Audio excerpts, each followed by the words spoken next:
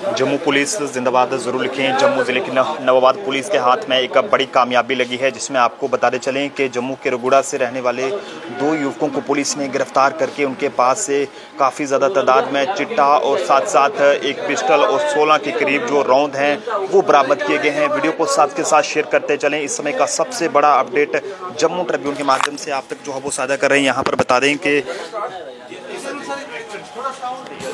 एक मिनट यार। जी सर। सबसे पहले आप सबका यहाँ पे स्वागत है कि आप इतनी शॉर्ट नोटिस पे यहाँ पे आए हो। आज की जो प्रेस ब्रीफ है, ये एक फायरिंग केस जो है, ये दो और तीन की रात को निकी तभी के एरिया में हुआ था। उस केस को नवाबाबाद पुलिस ने सॉल्व किया है और दो क्यूज को हमने इसमें अरेस्ट किया है। उस सिलसिले में ये रखी गई है।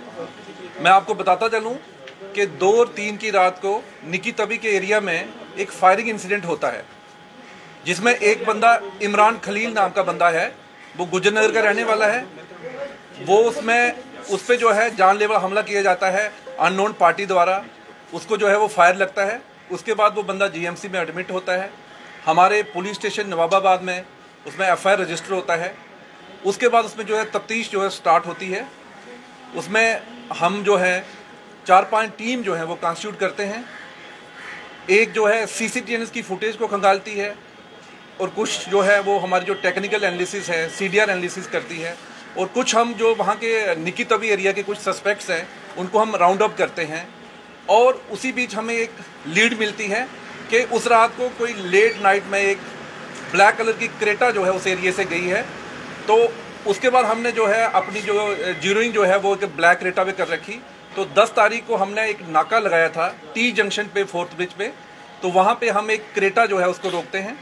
और उसमें जब चेकिंग की जाती है तो उसमें हमें दो बंदे जो सस्पिशियस मिलते हैं, उनकी जब सर्च बामल लाई जाती है तो उनकी सर्च में हमें 18 ग्राम जो चिट्टा जो है, दोनों की पर्सनल सर्च में जो है, उनकी पोजीशन से मिलता है। उसके बाद इसमें जो है एनडीपीएस एक्ट में एक लग एफआईआर जो है, वो लगता है।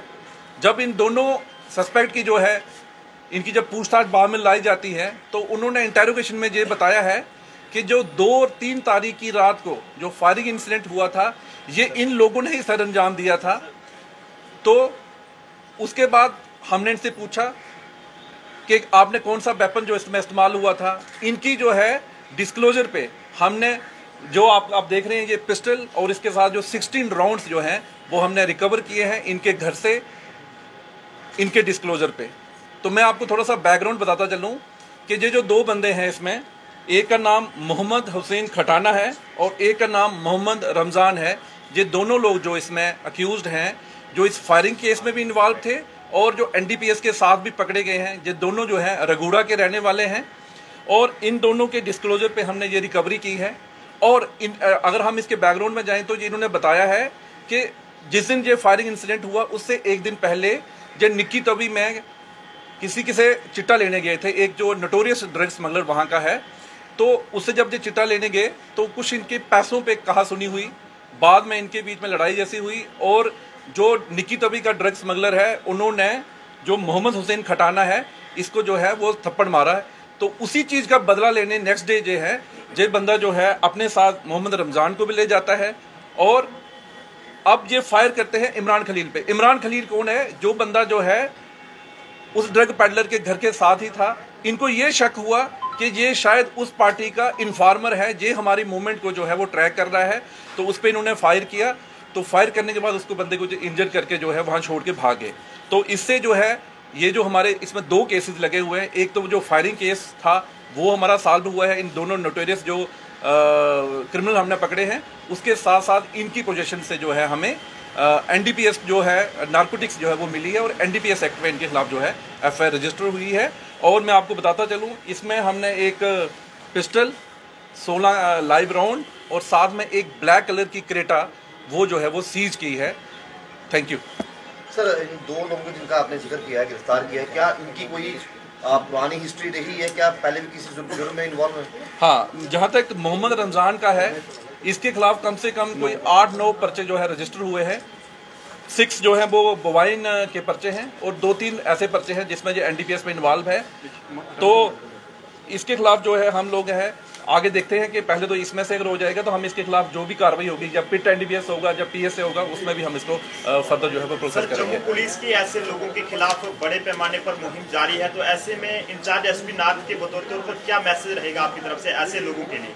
देखिए मैं सबको ये बताना चाहूँगा कि जहाँ तक एनडीपीएस का सवाल है मैं आपको जम्मू पुलिस के बारे में थोड़ा बताता चलूँ कि जम्मू पुलिस आज की डेट में प्रॉपर्टी सीज कर रही है जो भी लोग जो है इसमें ड्रग स्मगलिंग में इन्वॉल्व हैं। हम इनके खिलाफ पिट एनडीपीएस कर रहे हैं, हम इनके खिलाफ प्रिवेंटिव डिटेंशन कर रहे हैं, हम इसमें आए दिन जो है वो एफआईआर रजिस्टर कर रहे हैं और सबसे बड़ी बात है, आप देखते होंगे कि हमारे ऑफिसर रोज स्कूलों में जा रहे हैं तो हम जो है वो पब्लिक को अवेयर भी कर रहे हैं। तो मैं आपके माध्यम से, जम्मू की जनता से यही तो रखूँगा कि आप खासकर पेरेंट्स जो हैं, अपना रोल बेखूबी निभाएँ। टीचर्स का रोल बहुत इंपॉर्टेंट है एन का रोल बहुत इंपॉर्टेंट है रिलीजियस ऑर्गेनाइजेशन जितनी है, उनका रोल बहुत इंपॉर्टेंट है। मीडिया का रोल बहुत इंपॉर्टेंट है। पुलिस का तो है ही है। जब हम सब लोग एक पेज पे रहेंगे तो मुझे पूरी उम्मीद है कि ये जो ड्रग्स की बवाद जम्मू सिटी में आज की डेट में है, हम इसको जब हम सब लोग एक ही पेज पे होंगे और हम सब जॉइंट एफर्ट्स करेंगे तो हम जम्मू को और यूटी जे को ड्रग्स फ्री करने में बिल्कुल सक्सेसफुल रहेंगे। सर सर आपने ज़िक्र किया कि इसमें चिटे का इन्वॉल्वमेंट है क्या आने वाले दिनों में इस केस से जुड़ी और भी गिरफ्तारियाँ मिलने को देख सकते हैं? बिल्कुल जिसके पास ये लोग चिट्टा लेने गए थे और जिसके साथ इनकी कन्फ्रंटेशन हुई है तो उसको भी इसी केस के सिलसिले में ज़रूर लाया जाएगा और उसकी भी कार्रवाई की जाएगी। और भी मैं आपको बताता चलूँ कि एनडीपीएस का जब भी पर्चा लगता है हम उसमें बैकवर्ड और फॉरवर्ड लिंकेज पे काम करते हैं।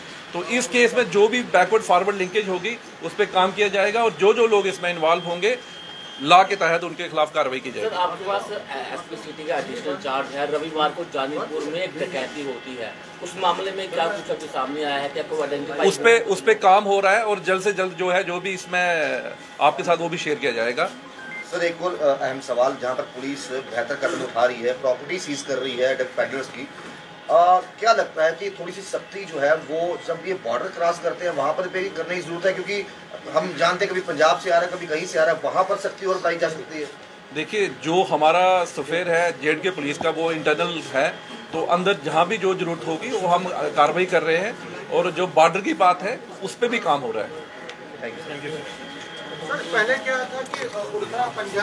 तो आपको बताते चलें कि जम्मू ज़िले की नवाबाद पुलिस ने जो है वो जम्मू के भगवती नगर से जो है वो दो लोगों को गिरफ़्तार किया है, जिसमें दोनों के दो, ये जो लोग हैं, ये जो है वो जम्मू के रगूड़ा से जो है वो ताल्लुक़ रखते हैं। ऐसे में बता दें कि ये वही लोग हैं जो कि पिछले दिनों जम्मू के भगवती नगर इलाके में जो एक फायरिंग इंसिडेंट सामने आया था, उसमें भी जो है वो ये शामिल थे और इनके पास से काफ़ी ज़्यादा तादाद में हीरोइन की खेप भी बरामद हुई है और इसके अलावा एक पिस्टल व सोलह के करीब करीब रोन बरामद किए गए हैं, जिसके बाद दोनों को थाने में यहाँ पर लाया गया और उनकी पहचान मोहम्मद हुसैन हटाना उर्फ़ राजू सनब हाजी गुलाम मोहम्मद हटाना बताई जा रही है, जो कि जम्मू के रगुड़ा का रहने वाला है और दूसरे की पहचान रमज़ान अली सनब मोहम्मद दीन, जो कि लोअर रगुड़ा का रहने वाला है और ऐसे में दोनों को फ़िलहाल गिरफ़्तार किया गया है और पूछताछ के दौरान ये भी साफ़ हो गया है कि उन्होंने ही कुछ दिन पहले इलाके में जो है फायरिंग की थी और उसके बाद मौके से भाग गए थे, लेकिन ऐसे में अभी फ़िलहाल नवाबाद पुलिस के लिए भी जो है आप लोग सल्यूट लिखिएगा, खासकर जो डी एस पी हेडक्वार्टर हैं और जो एसपी इंचार्ज हैं सिटी के और साथ ही साथ